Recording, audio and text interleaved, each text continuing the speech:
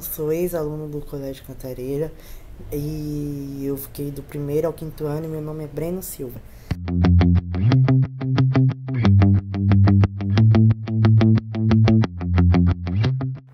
Olá, boa tarde, pais, alunos do Colégio Cantareira.